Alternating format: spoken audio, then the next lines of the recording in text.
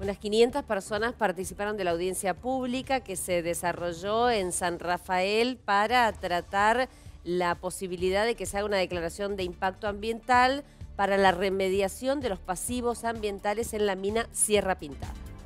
Desde el Ejecutivo aseguraron que esta es una deuda histórica con la provincia, hacer frente a la contaminación que se produjo en esa mina de uranio cerrada desde hace más de 25 años.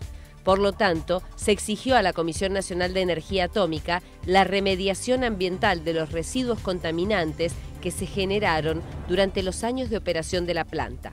De lo que se ha categorizado como los primeros, los, pasivos más importantes que tiene la cantera, no importantes por buenos, sino por malos, digamos que son las aguas de cantera, eh, obviamente, y los más, que es, eso es 1.200.000 metros cúbicos de agua de cantera contaminada que está ahí alojada.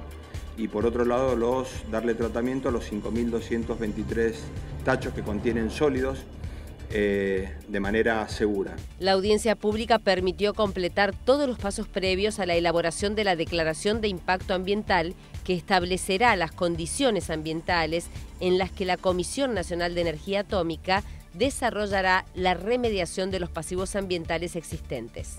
Yo creo que la, polémica de minería sí y minería no es ajena a este problema en particular. Este problema en particular es en definitiva una deuda que tenía la Comisión Nacional de Energía Atómica, el sector minero en general, digamos, con la sociedad, una muestra de cómo no tienen que hacerse las cosas.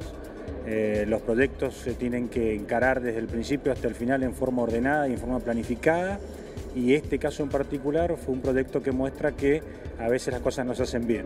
Además, desde el gobierno aclararon que en esta instancia solamente están impulsando que se remedien los pasivos ambientales.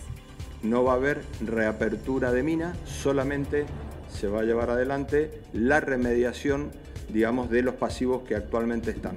Que esa es una preocupación que en algún momento tenían eh, algunos sectores ambientalistas, como es la multisectorial o la Asamblea por el Agua.